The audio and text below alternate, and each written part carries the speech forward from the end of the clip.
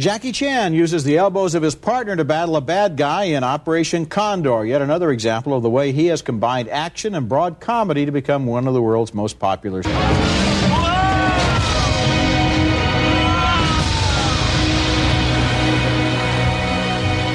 The plot is pretty goofy, involving Nazi gold buried in the North African desert, along with this convenient wind tunnel that provides a... Superman! The plot is paper thin, the characters are silly, and yet the movie works and is entertaining in the same way silent comedies are entertaining because the central character is a strong comic character with great timing and coordination, and we like him.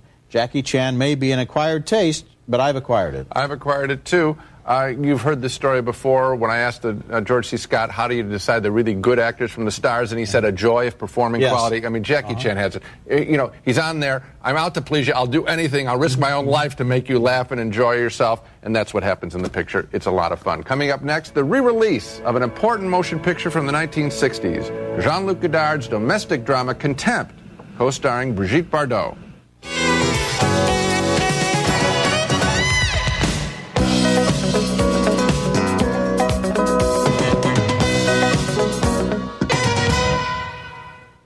Our next film up for review is nothing less than a masterpiece, I think. New wave French director Jean Luc Godard's 1963 film Contempt, about life and work, about marriage and the movies. Michel Piccoli stars as a screenwriter who has his eye more on his paycheck than on his attractive wife, played surprisingly well by Brigitte Bardot, who proves here that she is a true actress and not just a sex kitten.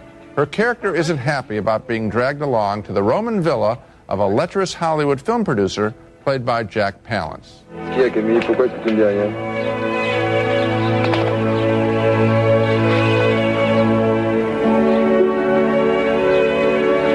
Back home, tension begins to flare between the writer and his wife. This is handled in a totally credible, measured way. Pourquoi tu pensais faire pensif Figure-toi que c'est parce que je pense à quelque chose.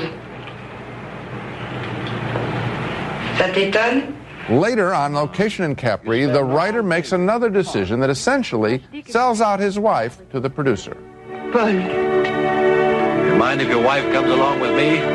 est-ce que ça vous ennuie que votre femme vienne avec nous Non, pas du tout. Vas-y, Camille.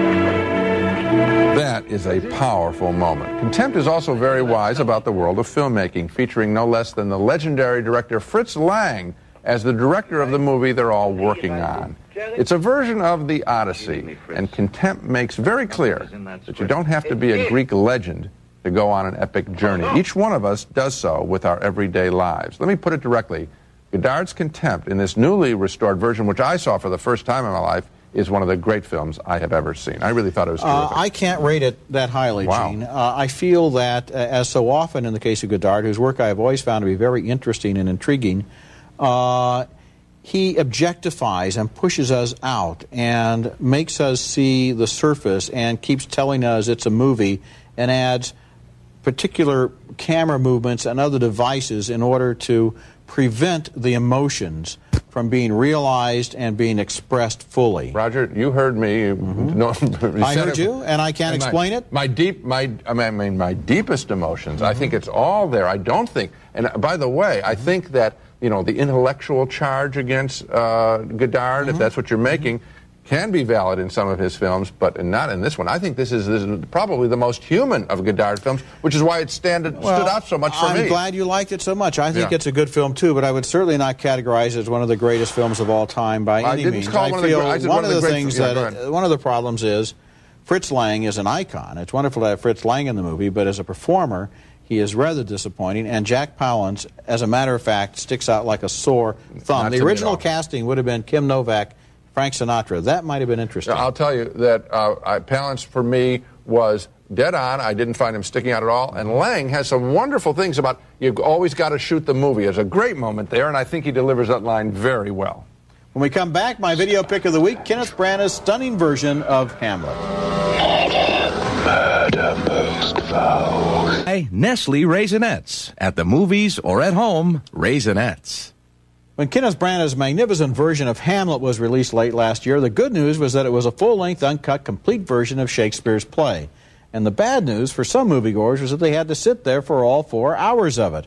I found it exciting and absorbing, but I know some moviegoers are simply too restless for a four hour movie, and so the video version of Hamlet, which is being released this week, will give them a chance to hit the pause button every now and then, just as the original viewers of Shakespeare's play at the Globe Theater could take a break between acts. Branagh starred as the troubled Prince of Denmark in a drama staged on a magnificent set, including a throne room lined with mirrors, allowing Hamlet to literally ask himself one of the most famous questions in literature.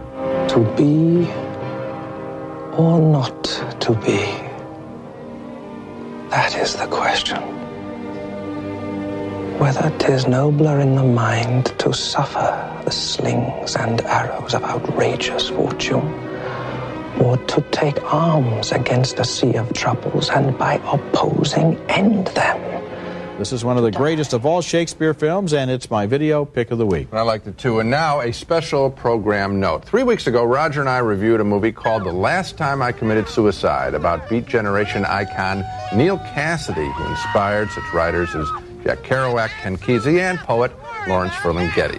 Time is now, and now is all we have. Well, I liked the film, but Roger said he found it to be a major bore, and our conversation ended with this impromptu challenge. Was. Jack Kerouac, and I'm sure Ferlinghetti, who is alive yeah. and maybe watching this show, would probably laugh at this movie. We'll find out. I will try and contact Lawrence Ferlinghetti and ask if he laughed at the movie. Well, I guess we can count Mr. Ferlinghetti as a viewer because he saw the movie and our program and wrote us this response, agreeing with Roger's negative vote, saying, in part, and I quote, It's hard to decide who's committing suicide in this film, perhaps the director.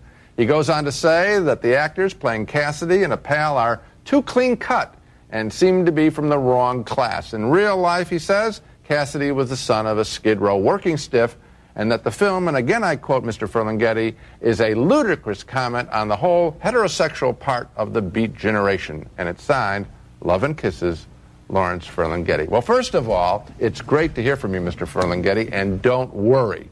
Roger's been wrong about movies before, and he's now in very distinguished company. I can't claim to know the truth of Neal Cassady as you do, but as a movie, I found the specific portrait of Cassady as a man who couldn't commit to a woman as quite provocative. The hard drinking, hard writing life and that kind of behavior are not exactly strangers in history. I enjoyed the lead performances by Thomas Jane and Keanu Reeves. I enjoyed the last time I committed suicide and also your letter. Well, Mr. Ferlinghetti, uh, I'd like you to forget everything that Gene just said. All he did was just recycle his original erroneous review. And you and I, especially you who knew Neal Cassady, and I who know him through the character Dean Moriarty in On the Road, the wonderful book by Jack Kerouac, will treasure that memory and not allow it to be tarnished by this latter day, weak recycling. Now let's take another look at the movies we reviewed this week. Two affectionate thumbs up for the goofy George of the Jungle with Brendan Fraser as a likable ape man. Two very enthusiastic thumbs up for Mrs. Brown with strong performances by Judi Dench and Billy Connolly. Two thumbs down, though, for Nothing to Lose, which has its moments, but not nearly enough of them. Two thumbs up for Jackie Chan's combination of stunts and broad comedy in Operation Condor. And two thumbs up for Jean-Luc Godard's Contempt Gene thinks it's one of the best films ever made. You can check our votes and hear our reviews of recent movies at our website. The address is www.siskel-ebert.com. That's it for this week. Next week, we'll be back with reviews of more new movies, including Harrison Ford and Air Force One. That's next week. And until then, the balcony is closed.